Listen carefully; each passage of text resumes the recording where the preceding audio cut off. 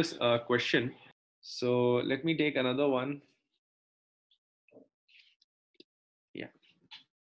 By the way, this writing is not that clear. So it's x plus 1 by minus 3 is equal to y minus 3 by 2 is equal to z plus 2 by 1. So find the equation of, uh, of the plane which is parallel to the lines, this and this, and passing through 0, 1, minus 1. Now let me tell you, this is not different from whatever we have done so far. It's just an extension of that concept.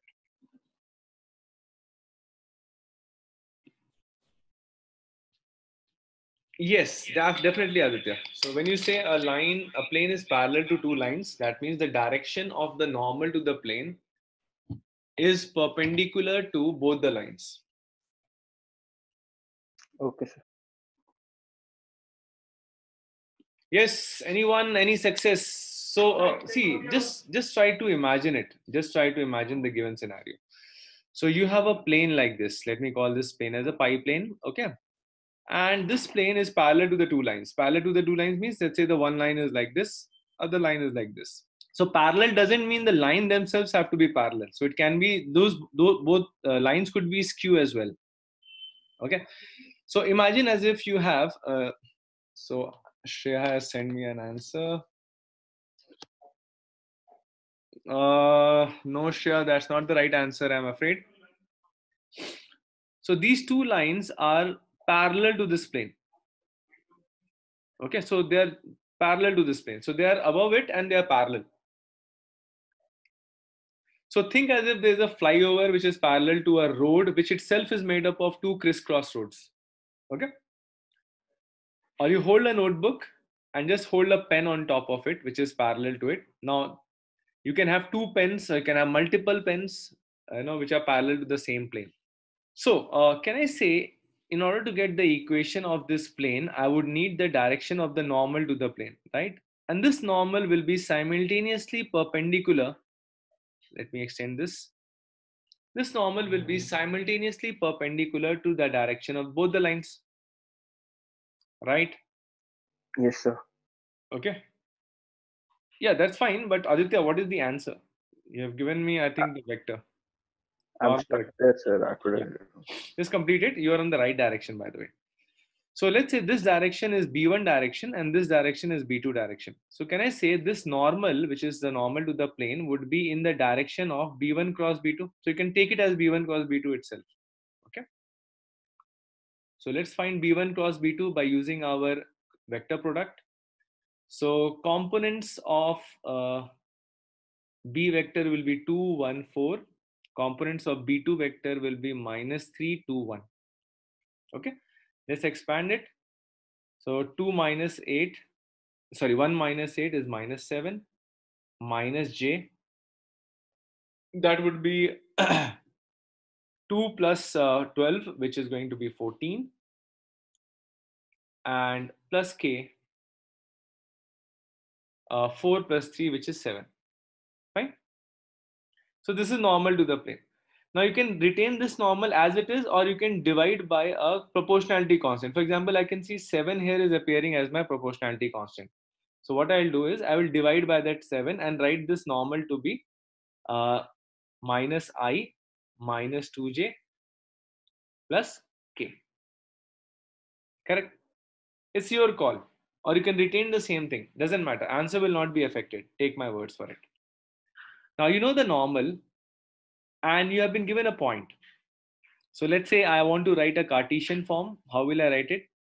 So remember my direction ratios of the normal are provided here, which is minus 1, minus 2 and 1. Okay. All I will use the formula is ax minus x1, by minus y1, cz minus z1 is equal to 0. Okay. This point is behaving as your x1 y1 and z1. So your answer will be minus 1 x minus 0 minus 2 y minus 1 and 1 times z plus 1 equal to 0. So expanded it becomes minus x minus 2y plus z uh, plus 3 plus 1. So this becomes your answer. Okay. You can write it as x plus 2y minus z is equal to 3 also. And never be complacent. When you get your answer, always quickly verify. Does 0, 1, minus 1 satisfy it? Let's check.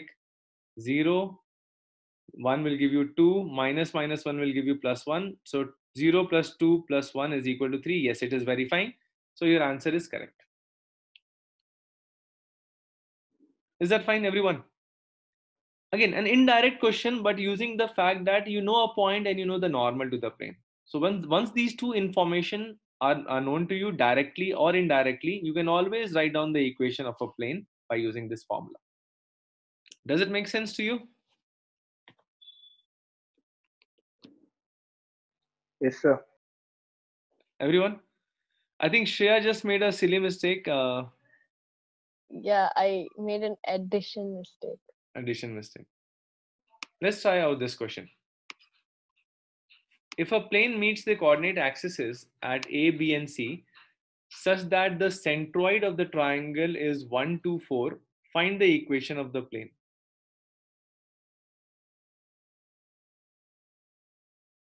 Is the question clear to everyone? See, the question says there is a plane which meets the coordinate axes at A, B, C. So let me just draw a uh, coordinate axes for you. Okay. So there is a plane, let's say, which meets the x-axis at A, y-axis at B, and z-axis at C. So this is your z-axis and it meets at C. And when you make a triangle out of ABC, when it says that the centroid of this triangle ABC lies at 1 comma 2 comma 4. Find the equation of the plane. Which plane? This plane. Okay, hope you can understand by my shading which plane I am referring to. The plane which contains this triangle. Any idea how to do this? Sir, I've sent it to you. Okay.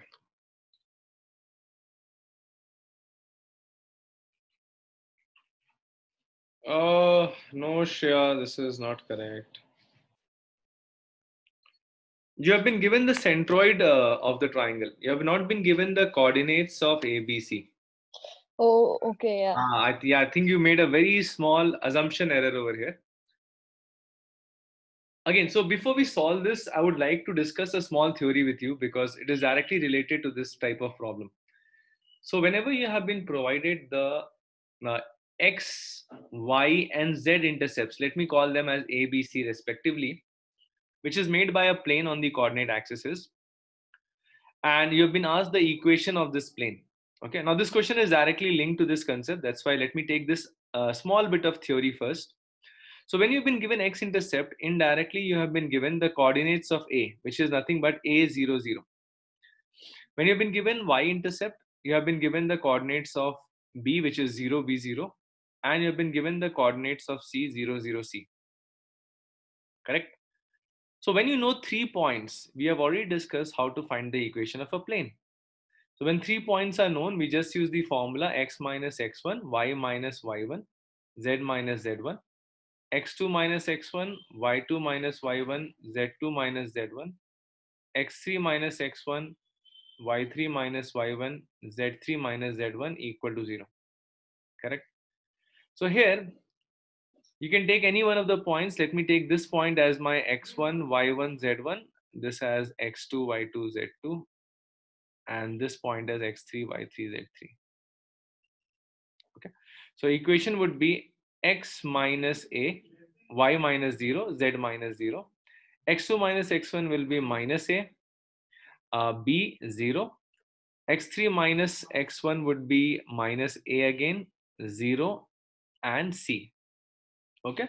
So just expand this determinant and your equation will be there in front of you. So it's x minus a times bc minus y times uh, minus ac and z times plus ab okay so x minus a bc plus YAC plus ZAB equal to 0.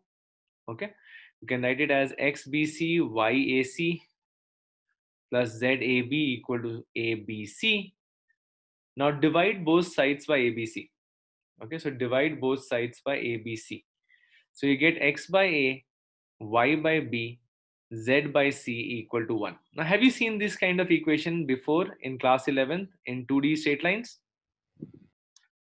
Yes, sir. Intercept. Yeah. Intercept form. Intercept form. So this is the intercept form of the equation of a plane okay you will find a very stark resemblance between the line equation in 2d and plane equation in 3d okay a lot of concepts you'll find that the formula is almost the same it's just that in planes you have an extra dimension added to it so a line in 2d is nothing but a plane which is parallel to the y-axis. You can think like that. So you're you're dealing with the projection of the plane on the xy uh, plane. Is that fine? Now how is it helping us to solve the present question? So please make a note of this. This is important. So how are we making use of this in our uh, problem solving here? Now we have been given that centroid of this triangle is 1 to 4. Centroid means a plus 0 plus 0 by 3 comma 0 plus b plus 0 by 3 comma 0 plus 0 plus c by 3. So this coordinate is given to us. And what is that? 1 to 4. So this is 1, this is 2 and this is 4. Am I right? which clearly means a by 3 is 1 so a is 3 okay b by 3 is 2 so b is 6 and c by 3 is 4 that means c is 12 so i can say that the equation is x by 3 y by 6 z by 12 is equal to 1 that becomes your desired equation of the plane. If you want you can multiply throughout with a 12 and write down the answer. Is this clear? Now, uh, just a formula or generalization of the same concept. So if you have been given that uh, there is a plane, there is a plane which cuts the coordinate axes at let's say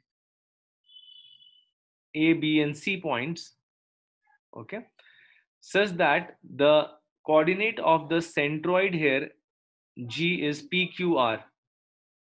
Then the equation of a plane can be written as x by 3p plus y by 3q plus z by 3r equal to 1. Just a generalization, no need to remember this. Okay, just a generalization of whatever I did in the given problem.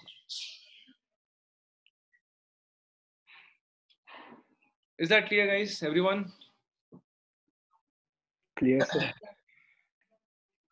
Okay. So let me move on to the next problem. Okay, so I'll move on to the next concept here. That is the angle between the planes. Angle between two planes. Angle between two planes. See, this is a very simple concept. So if you have been given two planes, let's say white plane, let me name it as pi 1 plane, and a yellow plane. Let me call it as pi 2 plane. Okay and I've been asked to find the angle between these two planes. The angle between these two planes means I've been asked to find out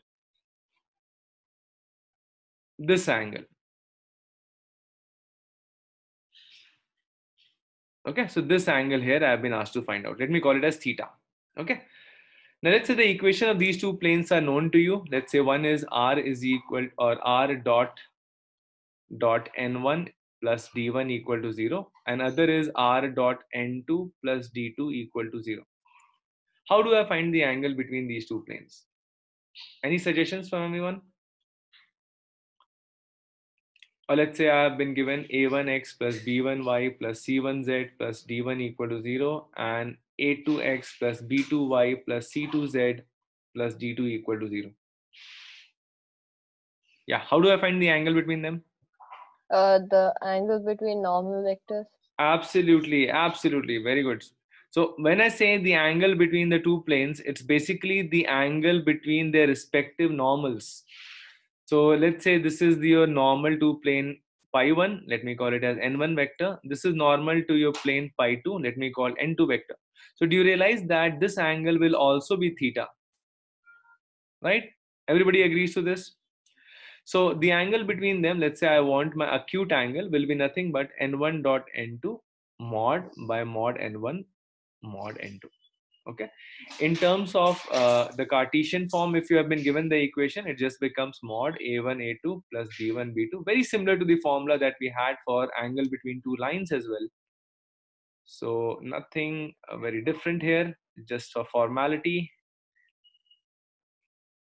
Okay.